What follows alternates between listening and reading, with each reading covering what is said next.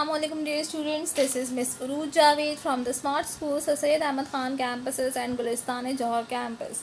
How are you all? Hope you all are fine and doing well.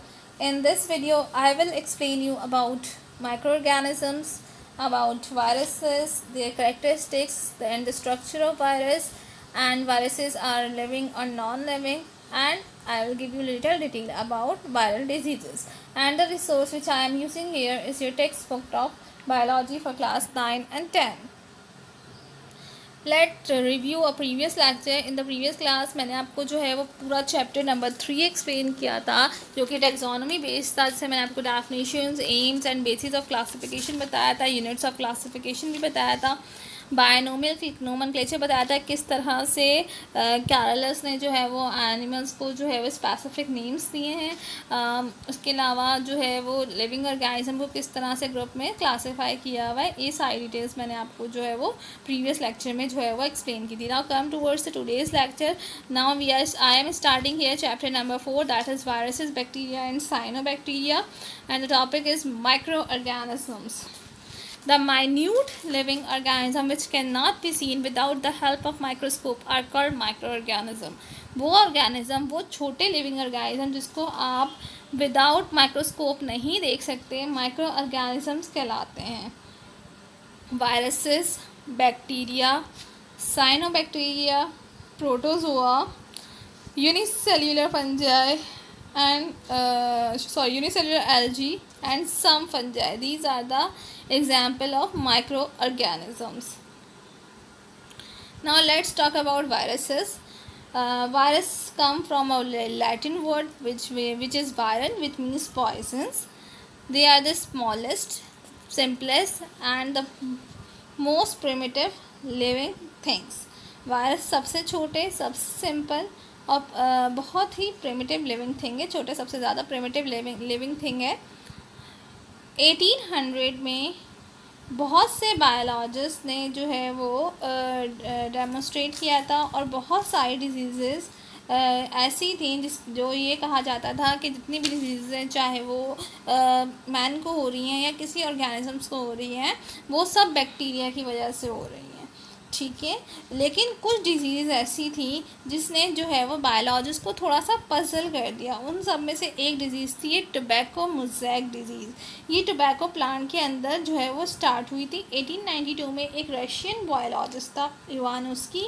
उसने बताया कि ये चीज़, ये जो डिज़ीज़ है, ये किसी ऐसी चीज़ की वजह से हो रही है जो कि बैक्टीरिया से भी छोटा है। उसने उसको नाम दिया वायरसेस का। ठीक है। और जो ये डिज़ीज़ जो ये वायरस कॉज करता उस वायरस को नाम दिया गया टोबैको मोजैक वायरस जो 1935 जो ईयर है, वो बहुत इंपॉर्टेंट है कि उस, इस लिहाज से, इस ये साल बहुत इंपॉर्टेंट है फॉर दिस स्टोरी के जो है वायरस होते क्या हैं और किस तरह से बिहेव करते हैं। ठीक है?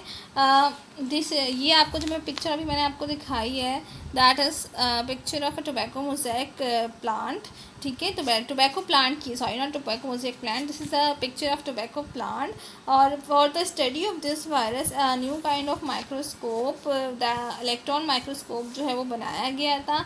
और जो uh, भी ऑब्जेक्ट तकरीबन अगर कोई भी ऑब्जेक्ट किसी भी मिली माइक्रॉन से कम है वो उसके थ्रू देखा जा सकता था। ठीक है? अब क्या किया जो ये प्लांट को ये डिज़ीज़ हो गई थी, उसमें वेंडल स्टैले ने, उसके इन्फेक्शियस पार्टिकल को क्रिस्टलाइज किया और उसको जो है ऑब्ज़र्व किया, जिसको आजकल जो है वो अब उस वायरस को नाम दिया गया, इसको टोबैको मुजैक वायरस कहा जाता है। और ये जो वायरस है टोबैको मुजैक वायरस हो गया, और भी बहुत सारे माइक्रोस जो वायरसेस हैं, वो जो है इलेक्ट्रॉन माइक्रोस्कोप की मदद से देखे जा सकते हैं। यू कैन सी दैट ये वो मैंने आपको प्लांट दिखाया था, अब यहाँ पे आपको डिज़ीज़ इन्फेक्टेड प्लांट दिखा रही हूँ कि आपको लीफ पे मुजैक एक पैटर्न बना हुआ नज़र आ रहा होगा। That is tobacco mosaic disease and that is due to tobacco mosaic virus Now look at the characteristic. Viruses are non-cellular obligate parasite that have always a protein core and a nucleic acid core. Viruses जो है वो non-cellular obligate parasite है उनके पास एक protein core और nucleic acid core होता है They cannot live and reproduce outside the living cell. अगर ये किसी भी living cell से बाहर हैं तो ये ये वहाँ पे बिल्कुल इनएक्टिव फॉर्म में होंगे। यानी ये ज़िंदा नहीं रह सकते जब तक ये किसी भी लिविंग थिंग के कांटेक्ट में ना आए और रिप्रोड्यूस भी नहीं कर सकते। They range in size from twenty nanometer to two fifty nanometer इनका जो साइज़ है वो twenty to two fifty nanometer के दरमियान होता है। They are submicroscopic there is no sexual and asexual reproduction they reproduce by replication Virus, they appear like small rods, uh, tadpoles or maybe polyhedrons और like little spheres. ये आपको जो है छोटे छोटे रॉड्स की फॉर्म में या tadpoles की form में या छोटे छोटे spheres की फॉर्म में नज़र आएँगे. If you talk about the structure of virus virus में consist of nucleic acid capsids envelopes and tail fiber virus के पास जो है वो न्यूक्लिक एसिड कैप्सिड एनवेलप और टेल फाइबर मौजूद होता है. If you talk about nucleic acid the neither nucleic acid का may consist of a single or several molecules of DNA or RNA nucleic acid के अंदर जो है वो सिंगल या से बहुत ज़्यादा भी जो है वो मॉलिक्यूल्स हो सकते हैं, चाहे either DNA or RNA the smallest virus have only four genes while the largest have up to two hundred जो सबसे छोटा वायरस है, उसके पास सिर्फ़ चार जीन है, और अगर बड़े की बात की जाए तो उसके पास दो सौ से भी ज़्यादा जीन्स मौजूद हैं। The protein coat that enclose the nucleic acid is called a capsid ठीक है? न्यूक्लिक एसिड के ऊपर जो प्रोटीन कोड चढ़ा हुआ है, उसको कैप्सिड कहते हैं।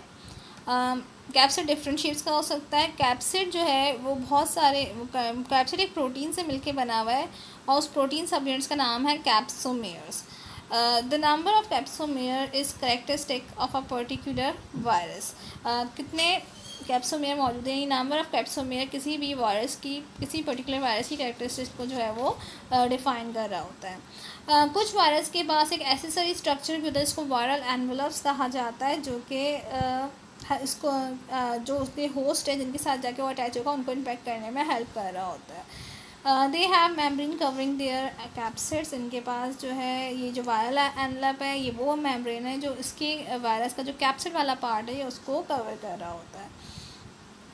The simplest virus consists of single molecules of DNA uh, RNA surrounded by a capsid which is made up of different pro protein molecules. Simplest virus की अगर बात की जाएगा सबसे सिंपल तो उसके पास एक सिंगल मॉलिक्यूल ऑफ़ डीएनए या आरएनए मौजूद होगा जिसके आसपास कैप्सिड मौजूद होगा और जो कि डिफरेंट प्रोटीन मॉलिक्यूल से मिलके बना हुआ होगा some bacterial viruses of bacteriophages are among the most complex viruses अगर हम बैक्टीरियल वायरस या बैक्टीरियोफेजिस की बात करें तो ये काफ़ी कॉम्प्लेक्स वायरस है।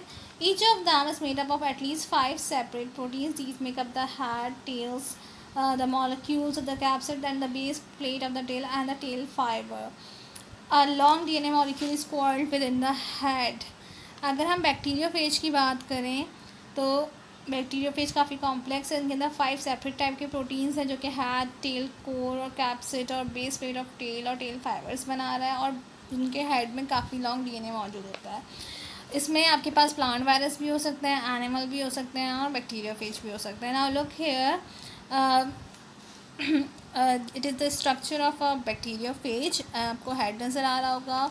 एक फिर आपको टेल फाइबर भी नज़र आ रही है बेस प्लेट भी नज़र आ रही है. This is the structure of bacteriophage जो इनका, इसका जो कैप्चर हेड वाला पार्ट है, इस, इसमें प्रोटीन कोड और न्यूक्लिक एसिड मौजूद होता है और जो नीचे वाला पार्ट है वो टेल कहलाती है.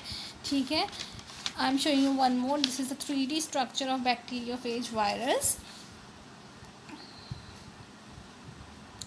viruses living or non-living? Viruses are considered a link between non-living and living because they show some characteristic of living and some characteristics of non-living. अब एक क्वेश्चन बहुत बड़ा राइज होता है कि जैसे भी मैंने आपको बताया है कि वायरस अगर किसी लिविंग बॉडी से दूर है तो वो इनएक्टिव फॉर्म में होगा, उस वक्त लिविंग फॉर्म में नहीं होगा। लेकिन जब वो किसी लिविंग बॉडी के साथ अटैच होता है तो वो जो है वो एक लिविंग फॉर्म में आ जाता है। तो एक यहाँ पे क्वेश्चन राइज ये हुआ था कि viruses are living or non living तो वी कैन से दैट कि वायरस को जो है वो एक लिंक कंसिडर किया जा सकता सकता है between living and non living क्योंकि sometimes they are they show some characteristics of living organism and they show some characteristics of non living as well virus is considered as living because of the following characteristic अब मैं आपको वो characteristic बताऊँगी जो कि इसकी living characteristic है जिसकी वजह से हम ये कह सकते हैं कि वायरसेस को लिविंग कंसीडर किया जा सकता है। Number one viruses has a core of DNA or RNA surrounded by a protein core DNA or RNA resemble the chromosome of other living organism viruses के पास डीएनए और आरएनए हैं, जिसके आसपास प्रोटीन कोड मौजूद है।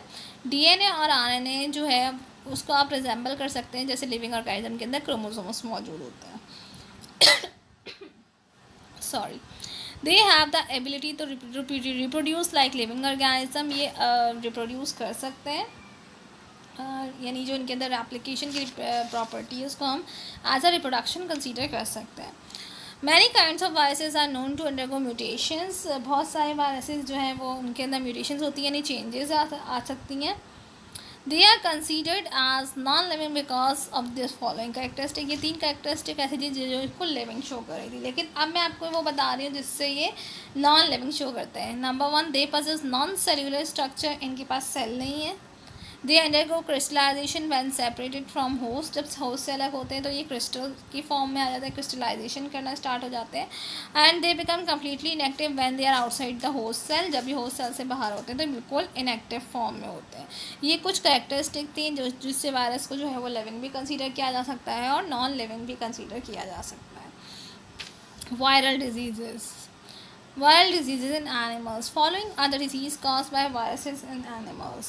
Poliomyelitis, colds, measles, mum, acquired immune deficiency syndrome and flu.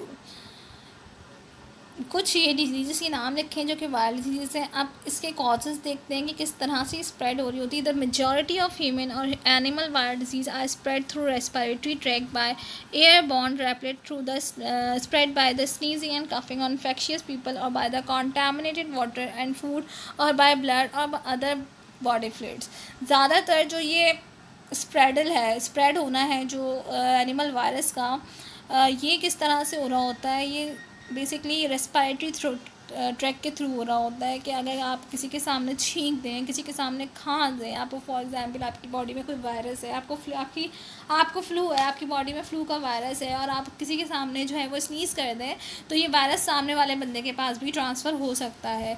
इसके अलावा कंटेमिनेटेड गंदा पानी पीने से, गंदा खाना खाने से या जो है ब्लड जो है ट्रांसफ़र किया जाता है, उसमें काफ़ी जो है वो सफ़ाई का ख्याल रखा जाता है तो इस तरह से जो है वो बहुत ईज़िली वायरस जो है वो स्प्रेड हो सकता है।